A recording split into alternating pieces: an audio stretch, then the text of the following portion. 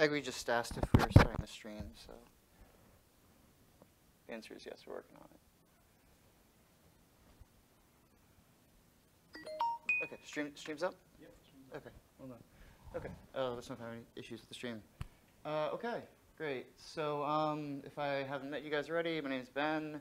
Uh, there's a nice small class today, so talk, ask questions, whatever. Um, those of you that brave the snow, you know, take, take as much time asking questions as you need. Uh, today we're going to talk about generative adversarial networks, which are kind of a super hot topic, especially um, they came out the end of 2014. 2015, 2016, even 2017 were like completely full of GAN papers, still really popular now. Uh, all the details are not completely worked out, so it's very much like an open area of study. And um, so we're going to actually have two talks about it. Uh, for right now, we're going to talk about kind of like the good sides of GANs, basically like what are they, what do they do, how cool are they, what are all the neat little problems and tricks and stuff that we can do with them. And then next week, we're going to get more into like the training issues that you have with GANs and, and all the, the kind of complexities of getting them to actually work correctly. Um, and we'll see that's kind of the main difference between GANs and, well, there are many differences between GANs and VAEs, but one of the, one of the important things to keep in mind is that GANs are much harder to train and get working and getting to do what you, what you want them to do than traditional networks. And there are several reasons which we'll, we'll get to as we go through the presentation. So um, to start off, we're just going to talk a little bit about generative networks themselves. So this is some of what uh, Tom talked about last week.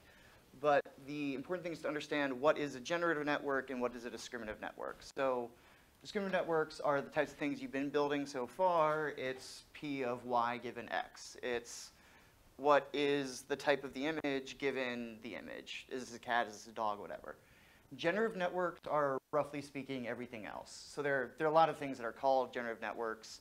But if you're trying to model what images uh, are in the MNIST dataset. Can you generate digits? Or can you gener generate digits based on the number? So can you build a network where if I say generate me a five, it can draw me different types of fives? Um, and also there are, are, joint models where instead of modeling p of y given x, you're actually modeling joint distribution, p of x and y, kind of lumping them together both as, as inputs to your model. So why, would you, why are these generative networks interesting and what kind of makes them different? Because um, why would you choose to model something like a joint distribution instead of just modeling, you know, here's my label, because the label is what you're normally interested in. So you can still use these generative networks to make judgments about things like the p of y given x, which is kind of your intended goal, but then you get all these extra features, you get more insight into the model. So you can also generate your data given your given your labels, which gives you some insight into what the model thinks is important, what the model's doing. Um, but what this means is that it's much harder to learn. Because if you think about learning your labels based on images, you've got all this image input data, and you're just trying to give it one label. A very simple network. It's got 10 outputs, you labels. Um, each image has a label, roughly speaking. So it is a distribution, but like we just have one hot encoded representations of what it's supposed to be, it's pretty straightforward to learn versus having something that is this big stochastic model where you give it the input digit and it gives you all the images that might have that, that uh, digit. So the model from X to Y is uh, many different images mapping to one or two labels, relatively easy to build, versus a function that goes from Y to X is a single label and the millions of possible images that someone could make that are, you know, the number five or something. So it's a much harder problem. And also keep in mind the dimensionality of y is way less than the dimensionality of, sorry, that's dimensionality of y is, should be less than x. So like in your typical situation, like MNIST, you've got 784 input variables, and you've got like a 10-dimensional label. So one, one side of the equation is much more complicated than the other. Um, so these are all the things that can kind of uh, be interesting about them, but make it a little bit harder. Um, just in general, this is not about GANs yet. This is generative models. Um, but what's interesting about them is that you start having different biases when you work in a kind of generative mindset. That if what your model is trying to do is just trying to learn how to generate this joint distribution, is trying to learn how everything's related to each other, it's actually going to build somewhat of a, a deeper or more interesting understanding than just the, the, the straightforward predict my labels, give my images. So there's some interesting results by Ng and Jordan, who are both heavyweights in machine learning, if you kind of follow the research. Um, but what's interesting, what they're finding is that, yes, if you're given an infinite amount of data of input images and their labels, then the best model is going to be one that just takes in images and gives you labels. But when you start having less data, you actually have a better bias, and uh, you're more efficient with your parameters when you're doing something that's a generative model.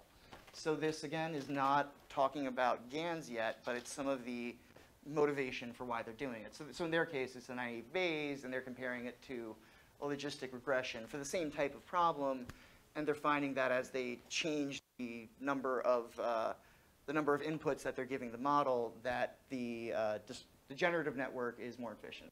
So really the key line there is the generative model may, may approach its error faster than the discriminative model, possibly with a number of training samples that is only logarithmic rather than linear. So it's basically saying that the number of samples you need to train a given thing, it's much more efficient to use this, this kind of generative network, even if, given an infinite amount of data, you might not get you know, your, your perfect ideal results. Is that, is that meaning using a generative model as a classifier or? Yes. Okay. Yeah, it's using it as part of your classifier. Um, so I would definitely say read through the paper for their specific results. It doesn't, um, it's not actually like a deep learning thing necessarily, but it's the broader sense of, like, like I said, it's very simple models you're using, like just logistic regression versus just a naive Bayes, but it, it kind of gets a sense of what, what biases are built in. Um, so it's important to compare GANs to VAEs. So we're going to do a, a, short recap on VAEs. And so I guess, I guess before we do that, any questions on like what generative models are, how they're different than discriminative models, things along those lines? Okay. Um, Does uh, the, uh, denoising autoencoder kind of a generative model or not?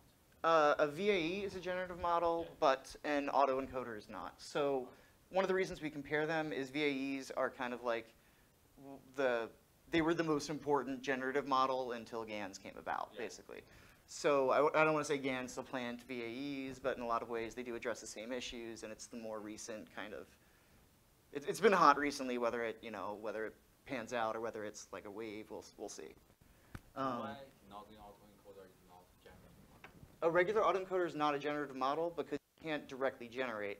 So you have an autoencoder, it takes inputs, it makes them embedded, and then it takes the, and that's, that's the encoding part, and then it takes the embedded stuff and it generates it, and that's the decoder part. The problem is you don't have a way to generate data of your embedded, of, of your latent dimension. You don't know what your latent dimension is going to be if it's just a general autoencoder. The autoencoder could choose to encode things however it feels like it wants to encode things, which means that that autoencoder is going to encode things efficiently, but you don't know what that encoding is going to be. So you can put something into the autoencoder and get an image out, but there's no way for you to put noise into the autoencoder and just directly generate images. Because that, that prior, like, the, the autoencoder is training P of x given z, which is a conditional distribution. What you don't have is you don't have P of z. If you had P of z and P of x given z, then you could have a generative model where you're generating x. But because you don't, in a regular autoencoder, you don't have any sense of what that encoding is going to be, you can't do that. Versus what a VAE really is, is it's making that hidden dimension, like, I want that hidden dimension to be the Gaussian normal distribution. And as soon as you say that, and as soon as that's true, then I can just generate samples from the Gaussian, and I can run it into my network, and I can generate stuff. So it's, that's, that's the key about VAEs. So, um, and I guess that's point number th three and four there. But anyway, so VAEs, you do have an autoencoder part, which is, and you know, in both what we call them and kind of mathematically what we say, the encoder is the p of z given x, and the decoder is the p of x given z. It's one of the most common to use z for your encoding, but it's not, it's not entirely consistent across papers, but that is probably the most common thing. And when you do a variational autoencoder, it is learning z. It is free to make Z whatever it wants Z to be, but it's regularization that is causing it to try and match the prior. So there's no guarantee when you're running a variational autoencoder that the encoding that it's going to learn is actually a Gaussian. You have a regularization loss that's saying, please be as close to a Gaussian as you want it to be. You're asking your model nicely to make Gaussian, but that doesn't actually mean that the encodings that it's going to generate are actually Gaussians. They're going to be a little bit off. Um, that will become important and relevant later. But really, what you should think about is that it's going to learn its own Z, but you're telling it to make that Z match some prior that is a Gaussian or something that you analytically determine, like a very well understood distribution. And then because we do that, and this is like the key point here, since we know what Z is, we know what our prior is. Our prior is a Gaussian. We can generate samples from a Gaussian easily. Just, you know, Google it, use NumPy, whatever. That means that now we can generate samples from the latent space.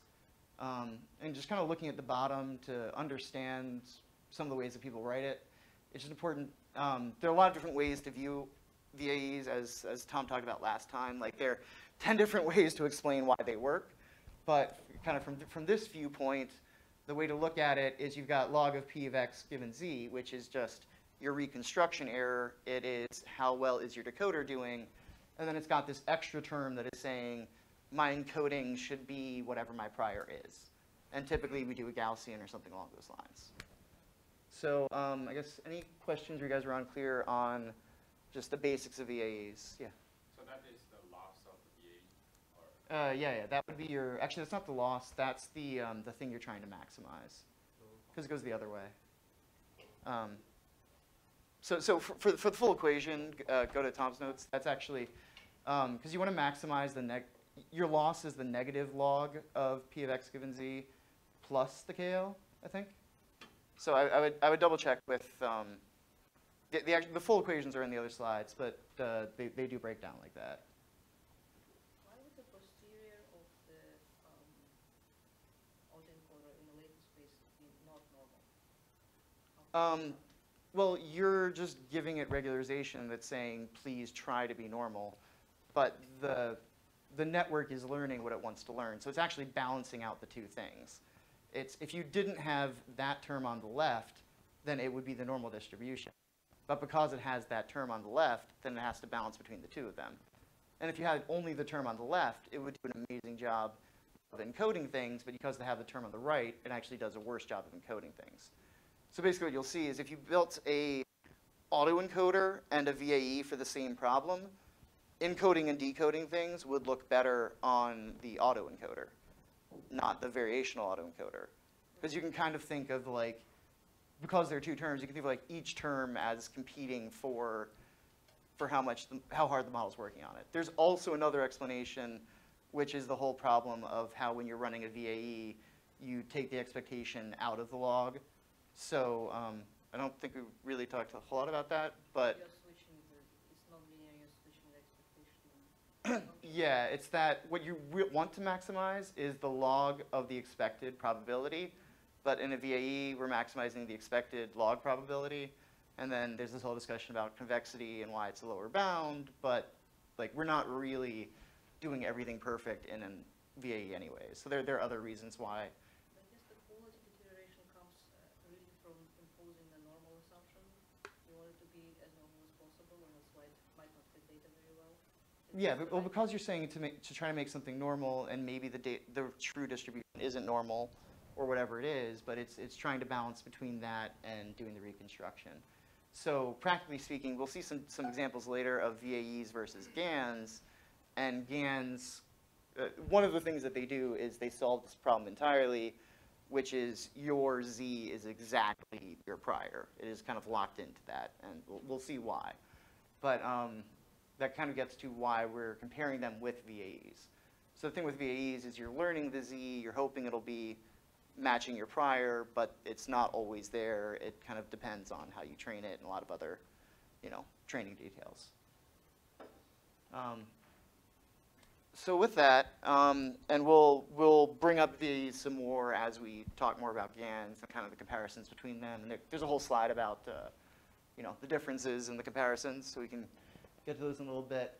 but anyway, so now that we get to generative adversarial networks. This is the hot topic. This is, um, this is what we're all here for today. Um, they're relatively new, flurry of activity, tons of publications, search on arXiv, you'll kind of see how crazy it is. Um, but they are a new way to build these generative models, which previously we mainly relied on VAEs for. Um, things like Boltzmann machines are also kind of useful as generative models, but they're, they're kind of a pain to train. So like people have really had a lot of issues of how to build generative models. Like we're all pretty clear on how to build discriminative models. You make a CNN, you give it the outputs, you, you know, cross entropy loss. It's pretty straightforward. But generative models are kind of a whole new beast that has been uh, making a big deal in recent years. So one of the differences between GANs and VAEs and why they've made a bunch of splash is that they have a lot more flexibility and potential. They produce sharper results, they produce cleaner results. The outputs that you're getting are way better. However, the problem is that they're much harder to train. It's much easier to make a VAE in a couple lines of Python than to actually get a GAN. And once you actually write the GAN, it's much more sensitive to how you train it and all the parameters versus VAEs just kind of work. So there are kind of two parts to a, uh, to a GAN. Uh, the first part is your generator. This is basically kind of what your decoder was. It takes the hidden space, which we're calling Z, and it gives you the image or whatever it is you're trying to do called X. Um, so you take a sample from the hidden space and you put it into it. So in terms of what it's actually doing, it's the same exact thing as a decoder in an autoencoder is doing. The difference is how you're training it. So that first point here is really important, which is the inputs to the model, you are sampling from your prior distribution. And you're just taking those samples and putting them as inputs. So your inputs aren't being generated using another encoder model and using the data. So in a VAE, your inputs to the decoder are the outputs of your encoder, which makes sense. It's an encoder decoder. They're linked together. In a generator, you don't in the generator that's being created for GANs, you actually don't have that encoder part. You are starting directly at the decoder part, and the decoder is being fed directly with the data from the prior. Um, and the other difference is on the outputs. You're not giving it true data and saying reconstruct this true data. So a VAE at the end of the decoder, what are you training with? Typically something like the L2 difference between its outputs and the images, something along those lines. You're trying to make the, out, the, the output match a specific image, and you're calculating a loss or a distance between the two of them. With a generator, you don't have that as your loss function. Your loss function is a neural network. So it's not I'm using cross-entropy loss or L2 loss. It's actually a neural network that's telling you which way to go and how to update things. Um, so we have a several slides on that and kind of the implications, which we'll get to in a second. Um, but also keep in mind, as this generator is training, the discriminator is frozen. You're treating your discriminator as just a black box loss, loss function while you're training your generator. So to your generator, your discriminator is just this back, black box that tells it what to do. the other portion is the discriminator uh, what the discriminator does is it tries to tell what the difference is between true images and your generated images. So the, uh, the real data goes directly to the discriminator as well as the outputs of your decoder. And what your discriminator is trying to do is it's trying to tell what's the difference between the two of them. And that way, the generator wants to fool the discriminator. So there are a lot of ways people have phrased it, like counterfeiting or trying to fool or something along those lines. But it basically means the discriminator wants to tell the difference. The generator wants there to be no difference. And if there's no difference, then that means your generator is generating the images or whatever it is that you want it to be generating. Um, so in the original uh, GAN paper, this has changed many times, but it's standard cross-entropy loss that people are using. So your discriminator is outputting a label, and it's trained with cross entropy to say, I want to give a 1 to things that are real, and I want to give a 0 to things that are false. Versus the, uh, the generator is basically trying to do the opposite. So while you're training the discriminator, you kind of treat the generator as this frozen thing that outputs data. and the discriminator is the black box for the generator, as we said before. So they're, they're alternately kind of frozen with respect to each other when the other one is training, and they update each other, but they don't really have internal information about each other. They just, um, oh, sorry, so one slide too many? That's it. Right. Uh, so the discriminator and the loss functions. Okay. So in terms of the actual loss functions and the implementation, um, there are a lot of different ways that they've been written, but here's one example. So your generator wants the discriminator to label it as real. So the generator's loss is the negative log likelihood of the discriminator's outputs of the generator's outputs of z. So that explains DGZ. It's the outputs that, the, it's what does the discriminator say about what my generator produced. Versus the discriminator, it has two things it's trying to do. It's trying to maximize the negative log likelihood of the discriminator of the real value, that's d of x, and it's trying to do the other thing, the other label, for the, uh, for the values that are output by the generator. So basically, the discriminator and the generator want to do opposite things for the, the generated data. And it's this competition between them that makes the adversarial network actually work. Um, so the generator wants the discriminator to output a 1, and the discriminator's job is to say 0 for generated data, but 1 for real data. That's the task both of them have. They're trying to do both tasks at the same time. And what that means is that we actually can describe it by a min-max game. This is kind of a compacted version of what we had before, but it's basically saying there's kind of one loss that one guy's trying to make as high as possible, one guy's trying to make as low as possible, and when they kind of fight it out and reach some sort of equilibrium, we're at a good place where we're going to have the images that we want. And that's described, um, actually, that's, that's in a couple slides. But just to uh, kind of recap, here's the, the very simplified path of noise goes into your generator, and that produces a fake image. Your discriminator is looking at your fake images in your training set and trying to decide if it's real or false, or real or fake. So that's the, uh, the kind of simplest view of what it's doing. Shouldn't be too hard to understand. Um, and then here is the, what I'm calling like the math conceptual diagram, which has got a little more labels on it. Um, but this is kind of showing, uh, just in terms of notation, what we call all those things. But it, it basically aligns with what we had before. But um, that's the type of, that's one choice of syntax that we use, and there are a lot of, there's a lot of variety in the papers, so it's not going to be consistent. But anyways, that, that's the basic sense of how it works. And then here's what I call the, uh, the fun conceptual diagram. But this is the way people have kind of described it of like a forger. And what's kind of interesting about it is you see the forger has like a blindfold on. So that's trying to show that like he doesn't really know what he's supposed to be painting or what he's supposed to be doing. All he does is the detective tells him no, yes, or like, you know, it's wrong here or wrong there. So he never gets to see the real data, but through the detective, he will eventually try to get something that's near the real data. Um, I've got a blog post linked here. This blog post is called like a GAN in 50 lines of PyTorch.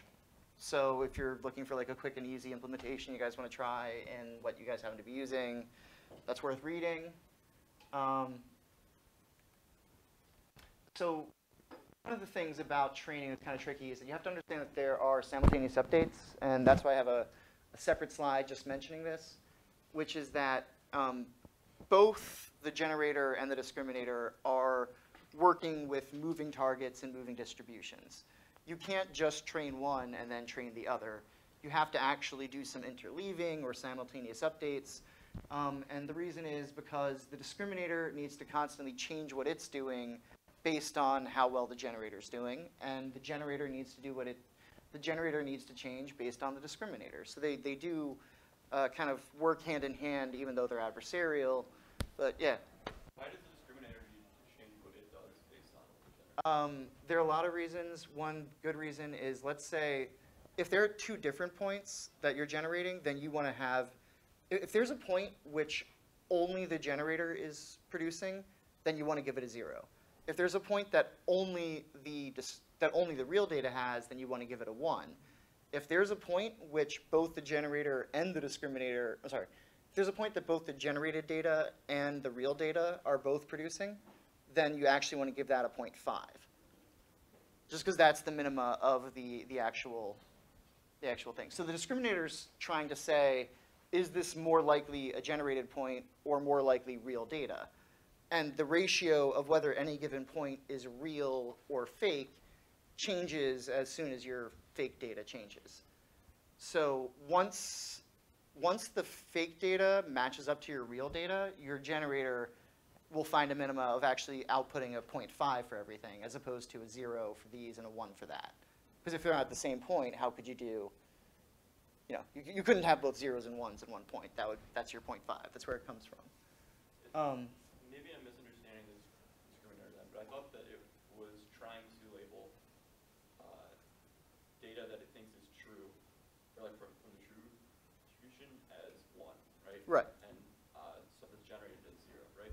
So if the generator creates something that is, matches up with the true, shouldn't it be labeled as one?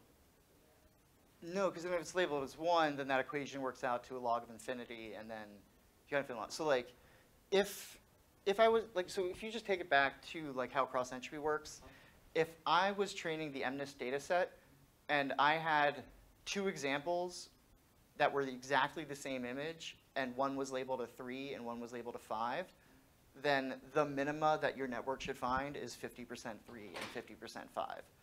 Just because that's how, that's how cross entropy ends up working out. Um, because it's like, if, if you can't be, sh- if it had given either 100% three or 100% five, then that network would have infinite loss. Because then you're giving 0% on the case that it is a five, and giving it a zero suddenly makes your loss infinite. So like it, it, it does have to actually change. And the other reason is like the parts of the space change. Um, I don't know if we have a great, uh, actually, you know what, we'll, we'll get to that as we, I have a video that kind of explains a little bit of that, of why they change. Um, now there is a stationary point, which is the point where neither of them change, they're both equilibrium.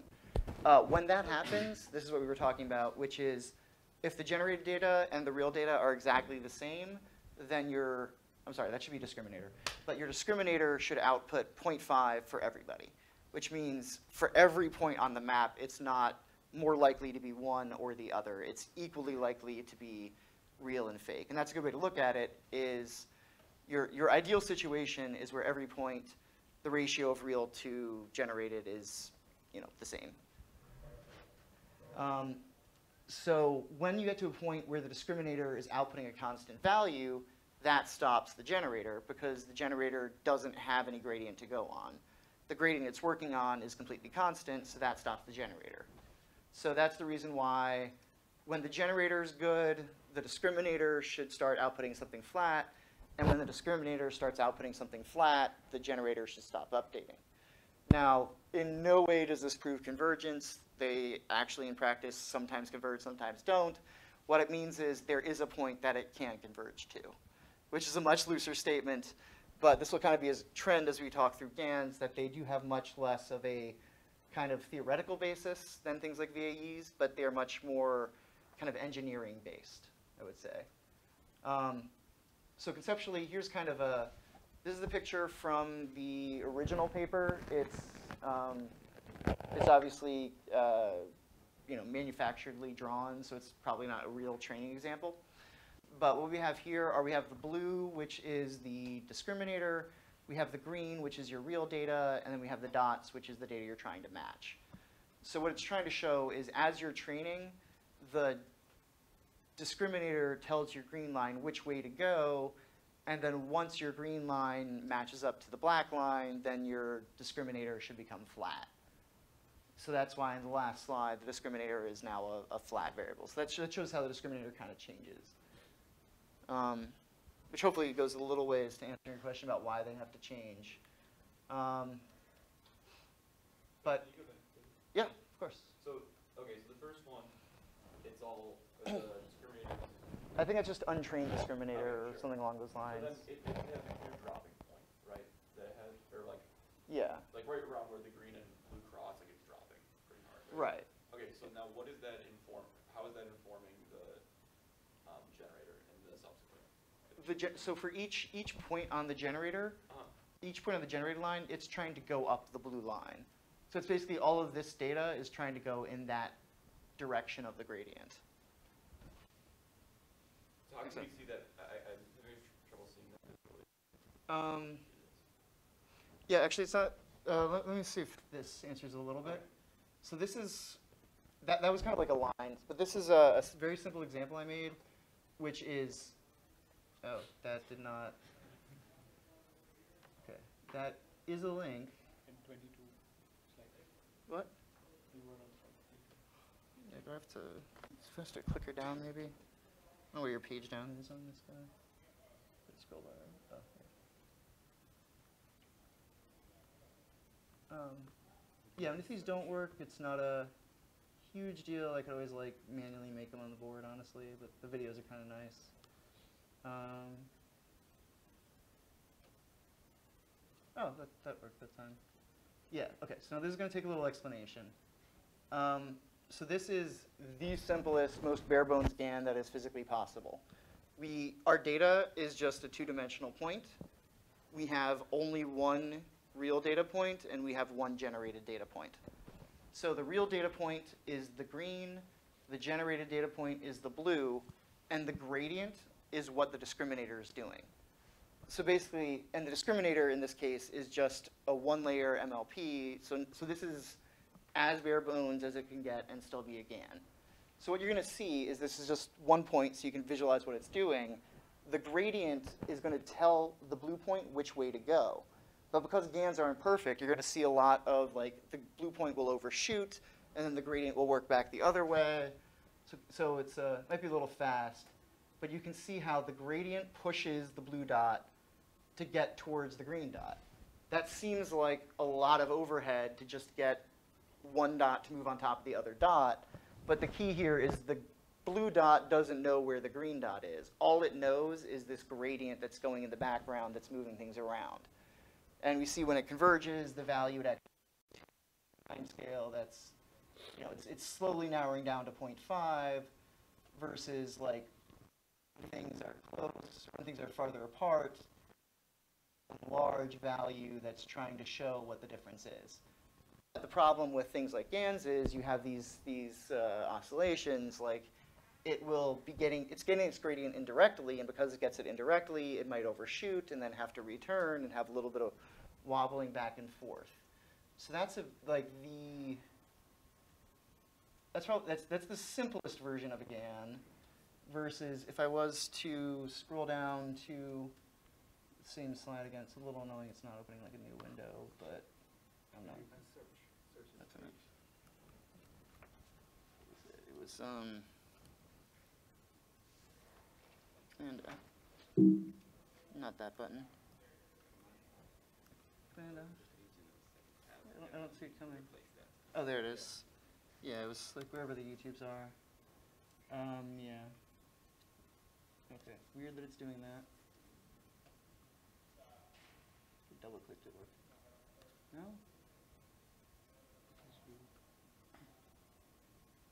Okay, so maybe we'll skip that one. Uh, but this one is a, a little more complicated. It's showing an entire distribution and how they move. But you actually get a sense of when you watch a GAN learn, as opposed to just like looking at a paper and seeing what a trained GAN looks like, you'll see how all kinds of chaos can happen, how it moves back and forth. Yeah.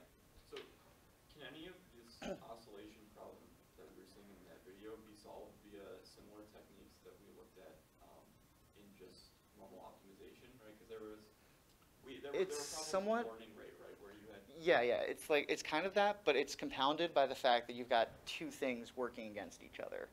So even even aside from those types of issues, which are still present, like GANs have all of your regular optimization issues, but then they have all these other issues. Um, and a lot of those issues aren't directly just because of like the oscillation of any one thing learning. Like your generator can learn everything perfectly, and your discriminator learns everything perfectly. The problem is getting them to work in harmony so that one doesn't overpower the other. Um, so like I said, we're going to uh, try to show you like the, the shiny side of GANs right now, but then uh, the entire next section is going to be about what are the issues when we actually try to do it. So um, we wanted to save the, we, wanted to give you kind of like the motivations for why everyone talks about GANs first, and then we'll, we'll kind of get to, I don't know why it's not zooming anymore. Maybe I have to get out of this first. Oh, yeah, so, so we will definitely talk next week, and make sure, um, there's a thread on Piazza, if you have any specific questions, make sure to post there. But, um, we will talk more about kind of what, what happens when we actually try to do them and what the, the practical results are. Um, today is gonna be a, okay? Yeah, okay. So today's just gonna be kind of like a best hits of what people do with GAN. So here's from the original paper, 2014, the very first version, what the generated images from GANs looked like. The thing on the right is real images, the stuff on the left is generated. Uh, the images aren't amazing yet, but this is the first time anyone tried this before, so it's still pretty cool. Um, but that's the type of thing you're trying to do, is you give it a bunch of real images, and then it generates images that are like it in some way. Um, it learns a latent space. That latent space maps to images. So just like in VAEs, you can walk through the latent space and actually see transitions in images. So here's just a simple example of walking through different dimensions and what they do. Um, but the key differences between VAEs and GANs, um, VAEs are in general more kind of theoretically, mathematically grounded. GANs are more engineering and kind of what works. VAEs, even if you do a really bad job with hyperparameters, they'll still do something. Versus GANs, if you have something off, they will just kind of go chaotic and different things will happen. Um, one other big difference is that GANs, you traditionally only learn the decoder versus a full encoder-decoder pair in VAEs. And one of the big differences is that the GAN decoder, its inputs are actually the stuff from the prior versus the VAE decoder sees these samples from the model, which might be similar to the prior, but they're not actually guaranteed to be the same as the prior. Um, but here's kind of like the real interesting part where if we want to spend extra time on any slide, I think this is where this is where it really sells you on on GANs. Now, well, here's what's interesting about GANs to me. Um, your objective function in most neural networks are things like your L2 function or like you know, EM distance. Like there's a distance metric that we define and we analytically calculate. When you have a GAN, your objective function is a neural network. So like the thing that's telling you how similar two images are isn't I'm going to calculate, you know, this image minus this image squared. It's I'm going to run a neural network which determines how far two things are apart.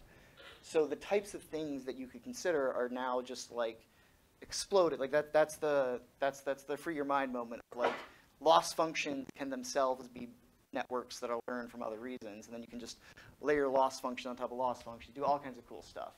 So it, it's just a new way about thinking about distance. That you're always trying to minimize the distance between generated images and real images, but now the distance isn't just L1, L2, whatever. It's neural network based.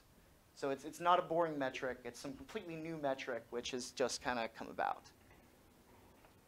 So what that means is that the things that we do in neural networks now carry over to your loss functions. So one pretty simple example is let's say you have a discriminator that uses max pooling, and you have a discriminator that's a CNN. And your discriminator has certain biases built into it that relate to how we think perception works. Now your loss function has those same things. So if you have a network which is shift invariant, you can have a loss function which is shift invariant. Versus something like L2 loss, if you calculate the difference between an image and the image slightly shifted, you get you know, extraordinarily high numbers. Um, so it's just a different way of doing it. And the, so for example, CNNs, it looks at local features. It can look at different shapes and sharp edges. So those are the things that matter, not just some L2 base, basis. The problem with L2 is L2 tends to make things that are blurry because L2 is basically it, it's the definition of the mean. Like the mean of something minimizes the L2 distance with all other things. So when you're doing a VAE and it's trained with L2 because your, your decoder output is using L2 to, to match your, uh, your results, you tend to get things that are blurry, it basically is getting the, the average image. Versus with the GAN, because your loss is using CNNs, it's using these things that are really good at determining features and small details, but might be um, invariant to slight shifts, then you have a completely different set of things that you're looking at. And um, basically, there's this point at the bottom, which is like a neural network is like the definition of perceptual. Like if you talk about something being perceptually similar, you're saying that my brain, when it processes it, puts these two things in the same spot. And if you think your brain works like a CNN, then it's like, oh, that makes perfect sense. Because it's like, if you want things to be perceptually similar, you shouldn't be using L1 or L2. You should be using a neural network, which is arguably perception. So that's kind of the, the, the, the mind expansion of what makes GANs so unique and why they, they have this, this huge potential. Um, Yeah. You use a neural network and a variational autoencoder instead of the encoder layer being a The problem is that you have to train that network to do something, and that network has to be trained to, if, if you try to do, th- there are combinations of GANs and VAEs, but roughly speaking, as soon as you start training that other network, it's gonna start looking like some sort of GAN. So we talked about the plain GAN, but we're gonna talk about a lot of different ways people have sliced up GANs and, and put them together. Um, so one kind of simple example, we don't need to spend too much time like drawing this out, but um, generating random white noise. If you tried to have a VAE that auto-encoded white noise, it would be like a very, very, very hard task for that VAE to do because it's trying to maximize the, the reconstruction, right? If you want to reconstruct white noise, you have to know what literally every single bit is. And if, you, if there's something you don't know, then you can't reconstruct it and you do terribly. So it's a very hard thing for VAE to do. And if you don't have enough data to actually tell what you're supposed to do, like if I don't know if something's supposed to be one or zero, then I'm going to output 0.5. So if you threw a bunch of white noise into a VAE, you would get a basically gray, or largely gray. Versus if you have something that is a GAN, it's actually amazing at this. Your GAN can be trained to generate white noise, and it will have zeros and ones. It won't be outputting 0.5s. And the reason is, if you have one output that is all 0.5 everywhere and another output that is random white noise of ones and zeros, you can have a CNN that tells the difference between those pretty easily. So it's these types of things that are, are why people at a very high level just refer to it as like one's blurrier and one's sharper, but this is kind of a one of the explanations of why you see the difference. Now, it seems arbitrary to see random white noise, but where you really see this come up in practice is things like textures. So if you wanted to have a VAE that generated carpet, and I look at this carpet right now, it would generate like a gray blob, roughly speaking. Versus a GAN can actually recognize the features and try to build something that looks like carpet. Is this white noise means add white noise to the uh, original? Oh no, I was talking about if your input is literally like static from a TV screen. So like if you have if you have input that has no logical pattern whatsoever, then a VAE will actually try to go for the average because that's the best it can do. Versus if you that, that's kind of the thing. If a VAE doesn't know what to do, it will go for the average. Versus if a GAN doesn't know what to do, it will go for whatever kind of fits the features better, and that tends to be a better result. Is this what noise uh, uh, Gaussian? I mean, this was just an example. I mean, any noise. Oh, I mean, if, if there's anything where you don't have, if there's anything that's noise, your VAE has to encode the noise. Because your VAE is trying to reconstruct the input. So if your input has a bunch of noise in it, your VAE has to encode that noise and then use all of that noise to produce something good. Versus the GAN doesn't actually have to do that. The GAN just needs to make something that's perceptually similar to whatever the input was. Uh, I think uh, if we uh, assume the noise is Gaussian, and we can use way to learn the means and variance, and uh, decode it to back to the noise, right? Right, but then that would just be, you would just have a wide Gaussian that covered zeros and ones. So like that, that isn't learning anything. The point being that VAE would have a very high loss versus the VAE that gave you 0.5 would have a better loss. It would just be giving you random. Um, Is it fair to say that uh, VE go- Yeah, like v- VAEs will tend to very easily get like large shapes and stuff in the data because that's what the L2 is kind of about. Of like, if I take this image, like I can get the, the accurate L, I can encode the entire L2 of this whole space. It's just like a bunch of gray and get a pretty reasonable L2 versus getting the actual like this is brighter, this is darker, and like all like the, the small details, and coding that is very difficult. So you'll, you'll really see the difference in things like textures and any like noisy types of things when you actually run the, uh, the results. Um, so that, I guess, brings us to, we're at, we're at 9.50, so we've got plenty of time, actually.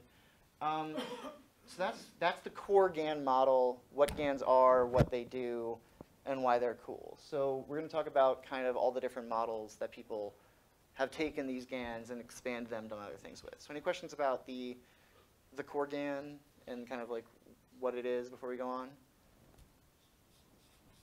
All right. So what can we actually do with GANs? Um, there, uh, there's definitely a flurry. This is just some of the, uh, the more interesting ways people have taken it over the last couple of years. So we're going to go through these. Um, I think we've got enough time to spend a little bit of time on each of them. Um, they're somewhat chronological, not entirely. Um, anyways, so one of, one of the simplest uh, expansions to GANs is what's called a conditional GAN.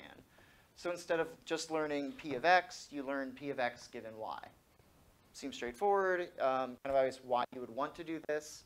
So for example, you don't just want to make something that generates MNIST images, you want it to generate MNIST images based on which digit I want to generate. So you give it the digit you want to generate, and it gives you images, as opposed to the plain GAN, which would just be giving you the marginal, here are what images look like. Um, so your generator in this case, it learns P of X given Z and Y, which was not there previously, and your discriminator is learning a probability of whether it's true or false given X and Y. So it's basically the same thing as your GAN, but there's a comma and Y added to both of your, both your models, and obviously that's a new input. So instead of just giving it the MNIST images, you give it MNIST images and labels. Um, the min-max looks about the same. The only difference is you see the, the conditional got added, so that shouldn't be anything, you know, too, too hard to get your grip around, but it's just that you're adding these in. Here's kind of a graphical uh, explanation of what you're doing. Um, so you just see that they've added these y's, and the discriminator looks at the y, and the generator looks at the y. And both discriminator and generator are neural networks, et cetera, et cetera. Question? What's the X in the discriminator? Um, the x in the discriminator would either be uh, that x would be the uh, sorry the uh, the real input. So that line's the real input, that line's the fake input, and that line's the the y's. Yeah. So it's either the y that was for the real one or the y that was for the fake one, depending on which part of the training we're talking about. Um, so this is if you want to generate a conditional distribution. Uh, here's one example of how they did it. So um, as opposed to the uh, sorry, as opposed to the MNIST that uh, the original GAN paper did, which just generated all of the digits. Now they can generate specific digits if they want to generate the digit, but when they try to generate a specific digit, they can actually generate all different types of threes and all different types of fours, et cetera, et cetera. Um, the thing to keep in mind is it's a single neural network that is producing all of these images. You just tell it which image to produce, and here's the stuff that it comes out with. Not the cleanest results in the world, but one of the earlier papers. so now we see how people have kind of used GANs to clean up images, and here's an interesting idea, which is called Laplacian pyramid GANs, or LAP GANs. Um, I don't know if anyone knows about pyramids from image processing, but we will have a slide on that in a second. But basically, what conditional GANs are doing, uh, LapGAN uses conditional GANs. And what it does is it progressively generates less blurry images. So it's a cat GAN, meaning it's conditioned on one thing to generate another thing. So what it does is, from a blurry image, generate a slightly sharper image. And then have another GAN that's conditioned on that slightly sharper image to make an even sharper image. And the way it's doing that is it's going down through the levels of blur in a Laplacian pyramid. So a single GAN kind of slightly increases the sharpness of one of one layer, and then you stack a bunch of these CGANs together, and you can generate really large images and really sharp images because you've broken them out into different portions. And what that actually looks like is here's where the namesake is, a Laplacian pyramid. you basically blur and you subsample and you end up with these varying degrees of, of blur of your image. So instead of trying to teach a model to generate some, you know, 300 pixel image, you train a model to generate a 4x4 image, and then another model to generate an 8x8 image based on the 4x4. You do that, you know, however many times. You'd have to look at the paper to see how many times they do it. But you're able to basically do this upsampling using conditional GANs and generate things that are relatively sharp. So um, conceptually speaking, here's kind of what they have. Um, what we just said is a little bit of a uh, of an oversimplification because they're not working on the blurred images. They're actually working on the uh, the difference of the Gaussians, which is the Laplacian. So that basically means they're drawing what are the additional details at a given level of zoom. So it's like they're they're drawing additional lines on the image at lower and lower levels. This is kind of a you know, from top to bottom, drawing a parrot and how it kind of gets sharper and sharper as you go through multiple GANs. And each one of these slices is itself a GAN. So you see there's a discriminator 1, a discriminator 2, et cetera, et cetera. And there's a GAN 1, there's a GAN 2. So it's just taking this model and kind of replicating it, training them all together. And you can, so the moral of this story really is that you can take multiple GANs in combination, and you can generate things in series. You can break up your data into multiple zoom levels, things along those lines, and you can really take that single GAN component and use it however you want as part of another model. So are the intermediate um, discriminator outputs not used here? Like it's, it shows it's outputting like real or generated for like. Yeah, they're outputting real and generated, and then those go into a loss function as to whether they were real or generated. They're just not drawing the loss part, if that's what you're asking. Okay. But yeah, so I mean each of these is. Don't get hooked up into subsequent steps, right? Yeah, so, Okay. so that's the thing to to keep in mind about uh, uh, GANs, is you're training two things in a GAN, which is a generator and a discriminator. Your discriminator, when you're done training, is a function that outputs 0.5 for everything you give it. That's completely useless. So your generator, your generator is useful. That's the thing you're trying to train. Your discriminator basically makes itself useless if it does its job. So the discriminator is like a throwaway thing in, in pretty much all cases.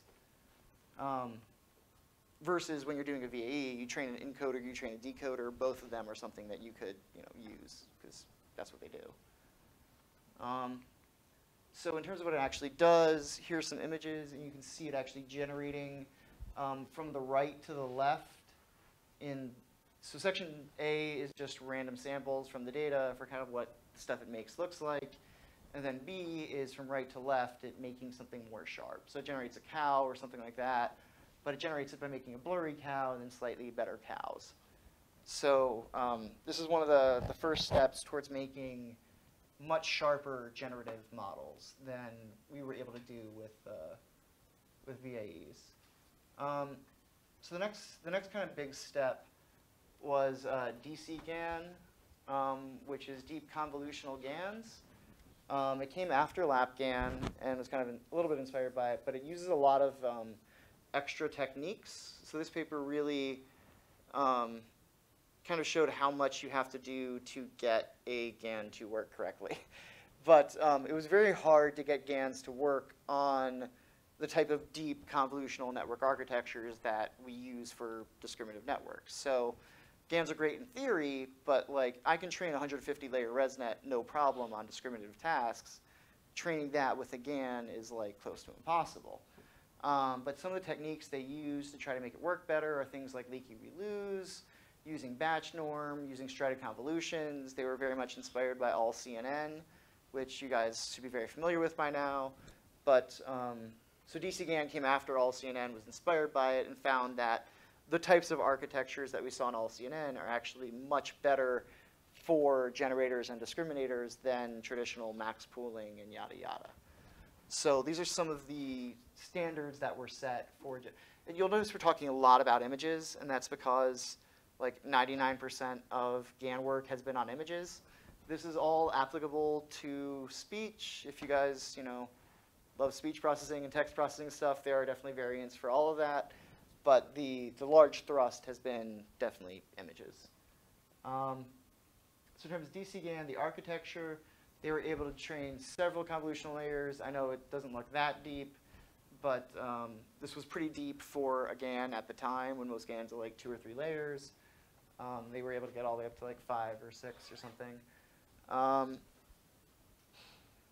so they talked a little bit about how they did that, and now we're on to a point where, where they can generate relatively large resolution images. These are, um, it's the LSUN database, which is basically pictures of people's bedrooms, not as salacious as it sounds.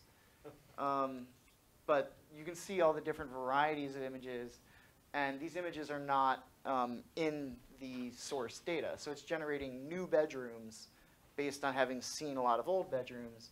And you'll see that the, the edges are kind of relatively sharp. Some of the edges will be kind of curvier than you would want them to be, but it doesn't have as much, uh, it doesn't- doesn't have that kind of like blurry effect when the, the lines and the transitions between things tend to be very sharp. Um, we can also do vector math. We saw a little bit of this with VAEs, but it's nice to just mention this is always a, a thing people like to do. It makes great examples. Um, vector math, math and word2vec was also a big hit when that came out. But um, vector math with, with images are things like smiling minus neutral woman plus neutral man is a smiling man.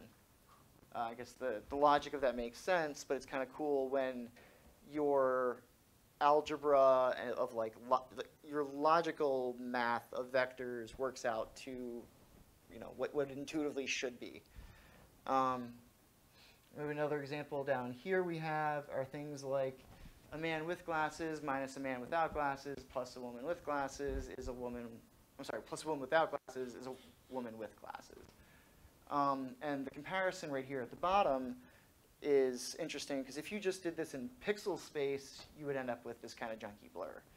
Because you can't just add pix, like you can't just add the pixels for for glasses and subtract the pixels for. Like you just get this blurry kind of thing. But in the vector space that it's learned, these these things are actually meaningful, and these are relatively high quality resolution, you know, high resolution images. Um, so that's your that's your DC GAN and how that works. Um, largely in terms of what it contributed is more practical in terms of things to do to train it, but that's very important to know, and we'll talk more about that next time in terms of the, uh, the training and optimization issues. Um, sorry if we're, if we're kind of hopping back and forth through a bunch of papers, but there, there was a ton of research in recent years.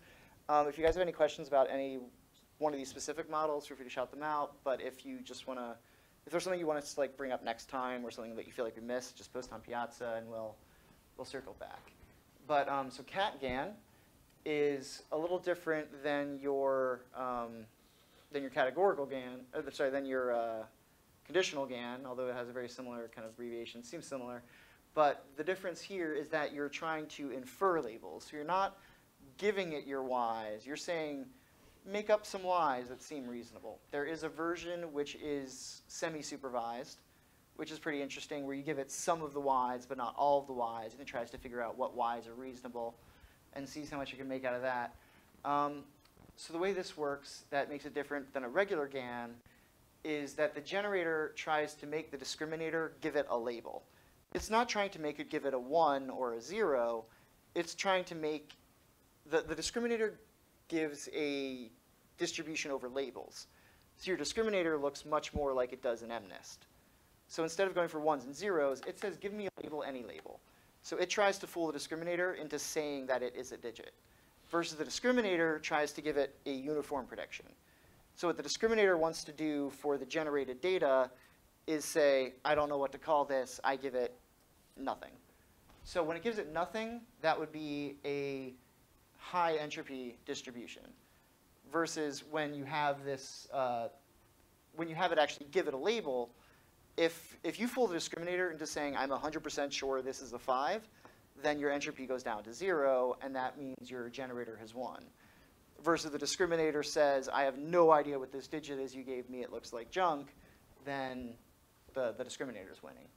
Um, so in terms of what it's conceptually doing, the, the reason the game works is exactly the same as a GAN, but instead of fighting over one value going from 0 to 1, they're fighting over a distribution going from high entropy to low entropy. Uh, So what that actually looks like, you see it here, and this is kind of showing what they're trying to do on the right. So you generate your data, and then your discriminator tells you which category it is. Um, your discriminator is trying to assign categories correctly to your real data, and it's trying to say, nope, I've got, I've got no idea what you are in your, so that's, that's where it says minimize the entropy, maximize the entropy, maximize the entropy. So it's trying to fool it, and um, it's a little more complicated than your typical GAN. But what this means is you're, you're jointly training this, this um, you're, you're training it so that it goes into different categories. Uh, here's how your objective's written out. It's similar to what we had previously in, in some ways, but you see these H's, which of course is shorthand for entropy, and it's trying, one of them is trying to maximize the entropy while the other one's trying to minimize the entropy. So rough, roughly the same structure as before, but um, they're, they're fighting over a different type of value.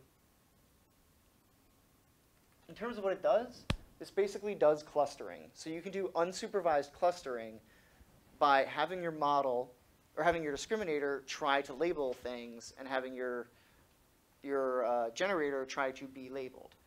So here's one example of a couple different clustering techniques, and CatGAN kind of blows them out of the water, where if you have something like these concentric rings, and you group them by L2 distance, then you're going to group, group points by L2 distance, or whatever it is. But all of the traditional ways of clustering things are some bias that we've written, mathematicians have written. You know, we have k-means, that is a specific type of clustering that's meant to, to optimize some specific thing. Versus here, you're trying to cluster it based on perceptual similarity as, ca- as calculated by a network. So you can end up with different types of clustering. Uh, I think the next, oh, I thought I had an extra slide of that. But um, they have some very beautiful examples of like spirals and like interleaved U's is a very common, uh, I don't know if everyone, anyone's seen that data set before, but it's like one of the standard clustering data sets of you have something that looks like this and something that looks like this. And you tell it to make clusters. And like 99% of clustering algorithms will go like, here's cluster one, here's cluster two, here's cluster three. And it's only, a, it's basically CatGAN that's really good at saying, here's my first cluster, and here's my second cluster. Because it can actually learn a neural network that can make a cluster that shape. I mean, if those are your clusters, you literally could not make it in k-means. Because k-means is, you know, roughly circular, no matter what you're trying to do. And most, most types of clusterings have that issue, but CatGAN gives you unsupervised clustering. Um, there's also an extension which allows you to do semi-supervised, a couple things like that. But overall, it's just showing how, how far the GANs can go, I guess. How about uh, that the k means plus kernel? Right, so you learn a kernel, you might be able to learn it, it depends. But as far as I've seen, the results on CatGAN are much better than what you would normally get. Because I think you compare with uh, CatGAN with plan. Yeah, yeah, I mean, the- these, these might be Yeah, arbitrarily straw man. Yeah, yeah, yeah, like, I'm, I'm sure there are versions of, of k-means and stuff that will actually be able to get this, but it's a nice approach. It's, it's definitely not as flexible, like, but yeah, I mean, if your kernel is arbitrarily complicated, then kind of. Um, but it, re- it really depends. Um, yeah, we can circle back to that, but um, it is it is clustering. It is it is a unique way to cluster. I will, I will leave it at that. Um, so this is a bit of a side note from GANs, but we'll talk about it a little bit just to understand the next model, and this is called Draw. So Draw is actually a VAE model. Um, I know we're just going, going through papers, but so draw, what it tries to do is it tries to draw an image. So it's it is an abbreviation, but the abbreviation is kind of cutesy and actually describes what it does. So what draw actually does is it goes through and recurrently, iteratively writes things to a canvas. So in terms of a block diagram, here's what it does. The left side is your regular VAE, which is you encode, you sample, you decode, versus your recurrent draw VAE is you encode, you sample, you decode, then you do it all over again. You do it through a loop, and as you do this, you actually get something that draws images. So here's a pretty cool um, pretty cool set of images. We've got another one on the next slide. But you see how instead of just outputting an image, it pretty much looks like it's you know tracing a pencil over it, which I guess makes a lot of sense for MNIST especially, but it gives you a sense of trying to build a deeper understanding of what the images are. So obviously you could generate MNIST images in one go, but the fact that you're iteratively making them and understanding the components that go together to make up the image, you hope to build a um, really just a deeper understanding of what you're doing. And a lot of what we talk about with generative networks are those broad, kind of wishy-washy statements like deeper understanding and more complex and more rich, but that really is the best way to describe it. That this is a much more rich understanding of what, of how to draw a three and what a three means than just having a three. Um, here's another example of a drawing SVHN, which is Street View House Numbers. And you see that it actually starts drawing the numbers kind of like right to left, and it goes through and it first makes a background, and then it draws some numbers onto the background. So this is a VAE, but it's, it's a sense of what generative networks can do. And throwing it out there, there is, of course, a GAN equivalent. It's called GRAN, but it's basically draw for GANs. Um, it has some, some nice sharp results. Um, I don't have them all in this paper, but you'll see a very similar kind of block diagram, which is roughly you have your samples, you decode them, and you do this iteratively. And samples are conditioned on what you had previously. So here's your uh, generative recurrent adversarial network. And in terms of what it actually does, that, that was what the overall is the overall architecture, kind of the for loop part. And then here's each iteration of the for loop, roughly speaking. You can see that it has these convolutions and activation layers, yada, yada. Nothing too crazy about that, but the important thing is that you can do GANs in recurrent situations, you can do GANs in Laplacians, you can have models that are multiple GANs, multiple cat GANs. These things can all kind of be pieced and sliced together to make one full model, which is what you're actually looking to get. Um, so here's an example of how it draws. Um, they're not quite as clean as the MNIST images, but they're, you know, buildings and other things. But you do get a sense of it kind of like gradually drawing and gradually sharpening up to make the image that it wants to make. Um, InfoGAN is one of the more interesting ones. Um, this one actually takes steps towards interpretability, which is a great word to use. Um, but it tries to disentangle hidden representations.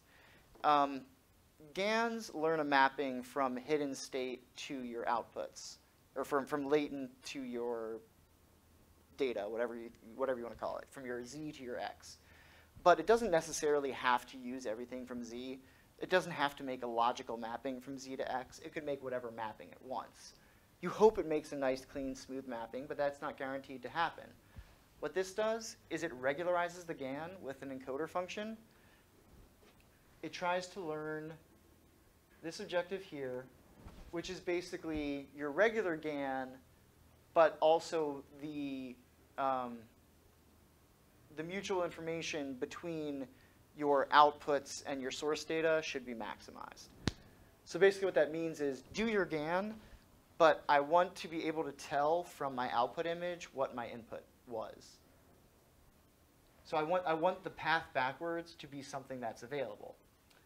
And what happens when you do that is kind of fascinating.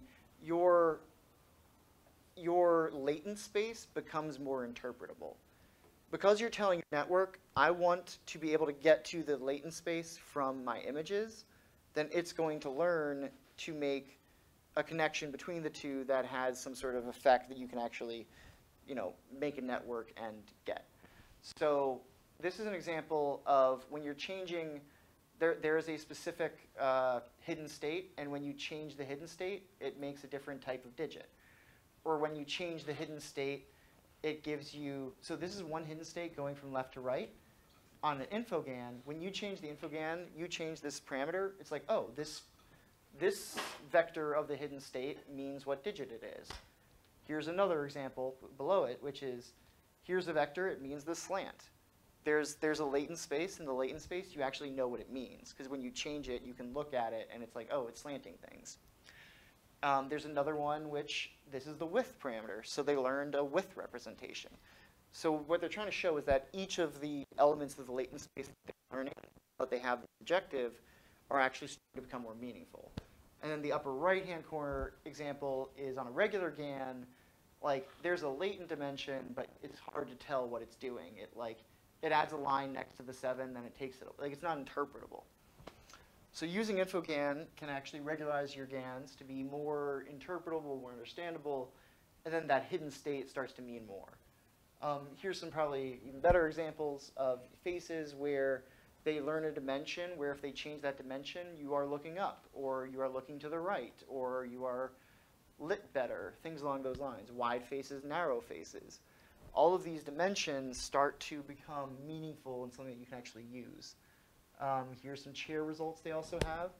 And you see that as they change a given value, the chair rotates. Or the chair goes from like a kind of small stick chair to like a big thick armchair. And all of these things are very consistent and meaningful.